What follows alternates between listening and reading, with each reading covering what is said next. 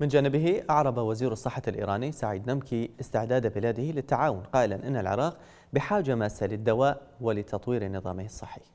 الشعب العراقي بحاجة ماسة بحاجة ماسة إلى